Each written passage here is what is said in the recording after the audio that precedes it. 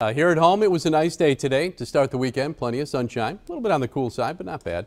66 the high temperature this afternoon. The normal high is 67, so we're right in that neighborhood. And like I said at the top of the show, it's a nice evening. 61 in Sykesville, 62 in Parkton. It's already down to 58 in Jarrettsville. So if you're going out this evening, you'll need a light jacket, but it's not going to be as cold as last night. Last night, temperatures dropped into the 30s in many places, and we had some frost. That uh, won't be the case tonight. The atmosphere has kind of changed a little bit. A clear sky out there. You'll get a good uh, view of the October full moon, the Hunter's moon this weekend. Should be nice and big in the sky tonight. It's a super moon, by the way.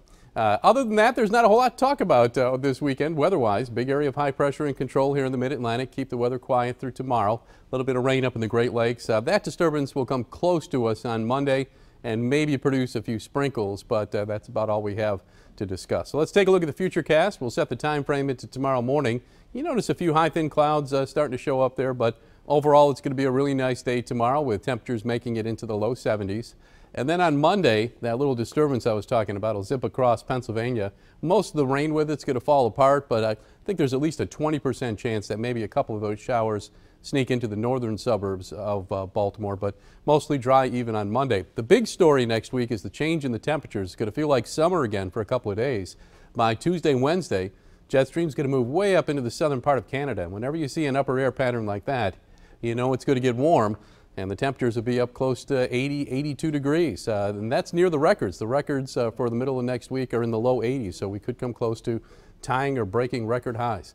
Mostly clear tonight, not as chilly as last night. Temperatures will drop back into the upper 40s. The wind's just light and variable. Should be a nice night. During the day tomorrow, a mixture of sunshine and a few clouds, a little bit warmer than today. The high temperatures will be in the low 70s. That's a few degrees above average. Normal high is 67. Seven day forecast taking us through the rest of the week. If you're a warm weather fan, you'll like this one. 20% chance for a shower on Monday, but a high near 78. Near 80 on Tuesday and Wednesday. If we get into the low 80s, it'll be near record highs.